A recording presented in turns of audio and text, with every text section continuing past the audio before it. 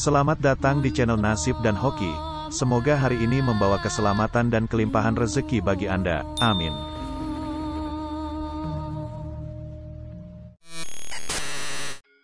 Assalamualaikum, salam sejahtera, Om Swastiastu, Rahayu, Rahayu, Rahayu. Pada kesempatan video kali ini, channel Nasib dan Hoki akan membahas mengenai beberapa tanda malaikat datang dan melindungi kita, sehingga panjenengan akan semakin peka dan menjadi lebih mengerti dalam memahami tanda-tanda tersebut. Mungkin panjenengan pernah merasa bahwa hidup panjenengan tengah ditinggalkan oleh Tuhan, atau juga panjenengan pernah merasa bahwa hidup panjenengan terasa tidak berguna dan sia-sia.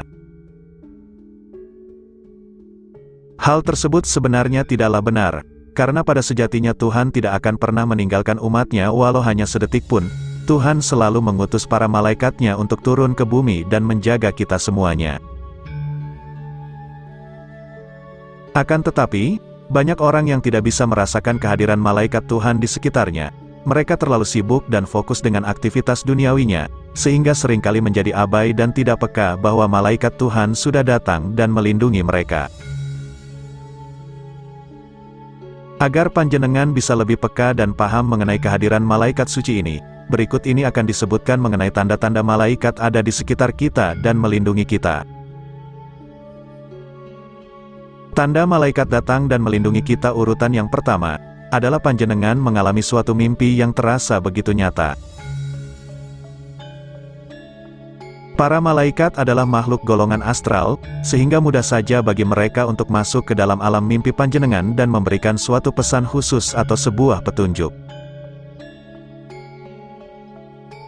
Dengan segala daya gaibnya para malaikat bisa mempengaruhi mimpi panjenengan secara halus, malaikat akan menjadikan mimpi panjenengan tersebut sebagai suatu penglihatan atau gambaran mengenai kejadian dan peristiwa yang akan datang. Malaikat akan membuat mimpi panjenengan tersebut menjadi terasa sangat nyata, dan biasanya akan berulang lebih dari satu kali. Mimpi yang seperti ini paling banyak merupakan suatu peringatan tentang peristiwa buruk yang akan segera terjadi. Misalkan saja panjenengan memiliki rencana untuk bepergian dengan memakai pesawat dalam waktu dekat, namun dalam beberapa hari sebelum hari H, panjenengan mimpi bahwa pesawat yang akan panjenengan tumpangi mengalami kecelakaan, dan mimpi ini terus berulang sampai beberapa kali. Mimpi yang demikian tidak boleh panjenengan abaikan. Mimpi tersebut adalah pesan dari malaikat yang ingin melindungi panjenengan agar terhindar dari malapetaka. Namun sayang, tidak semua mimpi dari malaikat ini merupakan penglihatan yang bisa dengan mudah dipahami. Para malaikat sering kali juga menggunakan simbol-simbol tertentu di dalam mimpi. Sebagai contoh adalah mimpi dililit ular besar, di mana umumnya bermakna tidak baik. Tanda malaikat datang melindungi kita urutan yang kedua, adalah panjenengan tiba-tiba merasa mual atau tidak nyaman pada bagian perut. Pernahkah panjenengan tiba-tiba merasakan sesuatu yang tidak nyaman menjalar ke seluruh tubuh kemudian berpusat di area bagian perut? Rasanya seperti ketika panjenengan sedang khawatir dan gelisah serta dibarengi rasa seperti mual. Apa yang panjenengan rasakan itu bukanlah suatu penyakit medis yang sedang kambuh, melainkan merupakan pesan terselubung dari malaikat bahwa panjenengan harus segera pergi dan meninggalkan tempat tersebut. Malaikat bisa mengirimkan pesan bahaya kepada panjenengan dengan mempengaruhi cakra solar plexus yang terletak di bagian perut. Cakra ini sangat berhubungan dengan pengendalian diri dan kemampuan panjenengan untuk membuat suatu keputusan. Jika panjenengan tiba-tiba saja merasakan hal yang demikian, maka segeralah pergi, pindahlah ke suatu tempat di mana panjenengan bisa merasa baikan, karena sangat mungkin ada bahaya yang akan menimpa panjenengan di tempat tersebut.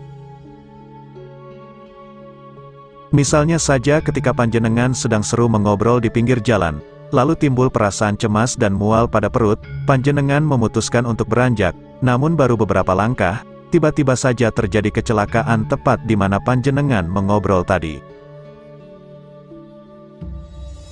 Tanda malaikat datang melindungi kita yang ketiga, adalah datangnya sakit yang mendadak. Jika selama ini panjenengan selalu beranggapan bahwa sakit adalah suatu bentuk kesialan atau hukuman dari Tuhan, maka panjenengan sepertinya keliru. Sakit yang sifatnya tiba-tiba saja terjadi, sangat mungkin merupakan cara malaikat agar panjenengan tetap aman di rumah saja. Di antara panjenengan pasti pernah bersyukur, bahwa panjenengan tidak jadi pergi ke suatu acara atau tempat tertentu karena tiba-tiba sakit. Panjenengan merasa bersyukur karena jika panjenengan ikut, mungkin panjenengan juga akan tertimpa musibah seperti yang lainnya. Cara melindungi yang seperti ini, biasanya dipakai oleh para malaikat kepada orang-orang yang tidak peka ataupun bandel, misalnya sudah diberi penglihatan jelas melalui mimpi namun tetap saja ngeyel, sehingga sakit yang tiba-tiba adalah jalan terakhirnya. Tanda malaikat datang melindungi kita urutan yang keempat, adalah munculnya permasalahan teknis di saat yang tidak tepat. Malaikat memiliki kekuatan yang cukup besar untuk memanipulasi benda-benda elektronik di sekitar panjenengan, seperti kendaraan, handphone, lampu, televisi, dan lain sebagainya. Malaikat akan memanfaatkan kemampuannya ini untuk menjauhkan panjenengan dari berbagai mara bahaya. Sebagai contoh adalah handphone yang tiba-tiba saja mati ketika sedang dipakai untuk mendengarkan musik di jalan. Bisa saja, hal tersebut adalah perbuatan malaikat agar panjenengan tetap fokus dan tidak mengalami kecelakaan. Tanda malaikat datang melindungi kita yang kelima, adalah melalui sensasi sentuhan fisik. Ketika panjenengan sedang mengalami masa-masa yang sangat sulit, atau mungkin juga sedang bersedih yang amat dalam, maka jangan takut apabila panjenengan merasakan sebuah sentuhan lembut di bagian tubuh tertentu. Selain sentuhan, terkadang juga akan terasa seperti sedang diselimuti oleh suatu energi yang hangat. Energi tersebut secara perlahan menjalar ke seluruh tubuh panjenengan. Hal ini adalah pertanda bahwa malaikat pelindung panjenengan sedang aktif. Malaikat tersebut seolah sedang memberitahu panjenengan bahwa semua akan baik-baik saja, dirinya hadir untuk memberikan ketenangan pada jiwa panjenengan. Beberapa orang mengalami hal yang sama ketika mereka sedang berada di tempat yang angker. Mereka merasa bahwa ada energi hangat yang menyentuh ataupun seolah merambat kemudian menyelimutinya.